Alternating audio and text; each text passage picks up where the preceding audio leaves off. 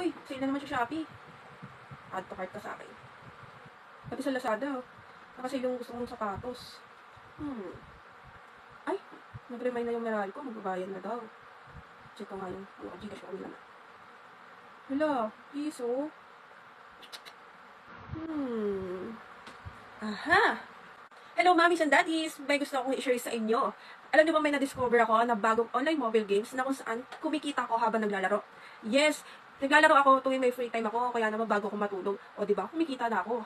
Ito nga pala si 7XM.app, isang mobile online games na kung saan legit. Alam mo kung bakit? Kasi pwede niyo ma-withdraw yung mga sahod nyo o yung mga kinita nyo through Gcash at hindi na kayo mahihirapan. Bukod doon, hindi kayo mag-worry na kung sino-sino mag-withdraw ng kinita nyo. Kasi bago kayo makapag-withdraw, i-input nyo dito yung password na kayo mismo ang gumawa. Ipapakita ko sa inyo kung paano. At isa pa, hindi rin kayo maboboard sa paglalaro ng 7xm.app kasi marami rin siyang mga games, hindi lang isa, hindi lang dalawa, napakarami, kaya hindi talaga kayo maboboard pag naglalaro kayo nito. Ipapakita ko mismo sa inyo kung ano nga ba ang 7xm.app. Pumunta lang kayo sa Google at i-search nyo yung 7xm.app. Tapos, pupunta na kayo dyan. Magkikreate kayo kung bago pala kayo. Ako hindi na, kaya may username and password na ako. Tapos, i-verify nyo lang. Dyan, mapupunta na kayo sa ganyan at makikita nyo na yung iba't ibang laro.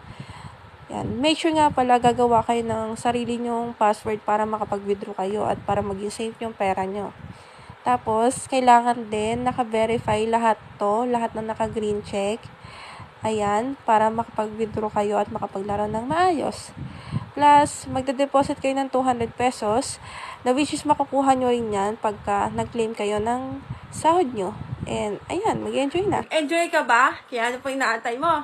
Tara, laro na!